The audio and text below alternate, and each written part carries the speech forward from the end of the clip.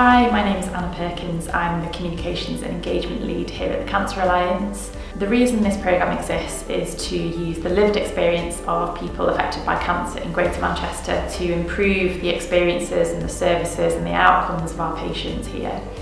How we do that is by working with different people from across the region who have a lived experience of cancer. For example, you might be a patient, you might have been a patient, or you might be a family member or someone who's cared for someone with cancer.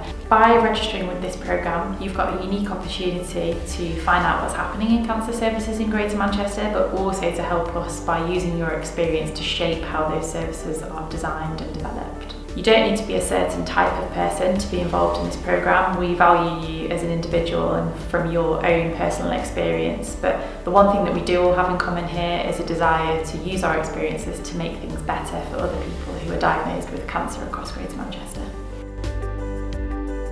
I'm a mother, I'm a friend and I'm an inspiration. Auntie, devoted auntie, obsessed auntie. and good friend and neighbour. So I work for Greater Manchester's Violence Reduction Unit in working in our communities to make them a safer place for people to live.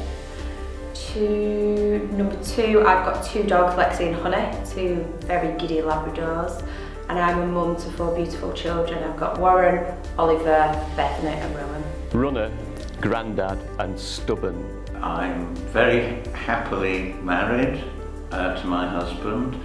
Uh, we've, uh, we're coming up to the best part of 20 years. Um, and, no, sorry, 30 years. Uh, the 20 year bit is uh, my cancer history. So I do a little radio show, um, present my own interest in music. That's one of the things. And the other thing is I like collecting old computers and making them work.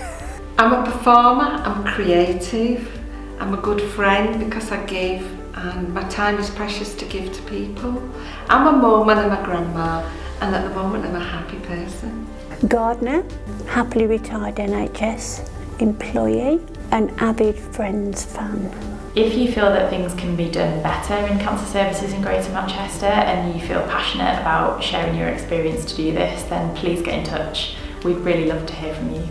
Anything which can bring um, people together um, and uh, but you know both those of us who uh, are on a cancer journey of some sort and uh, the people that are working professionally uh, with us, the more we integrate and uh, know about each other, the better. It, it's important for people to get involved in programs like this so we can be a voice and we can make a difference. It's about us all working together to make a better pathway for cancer patients.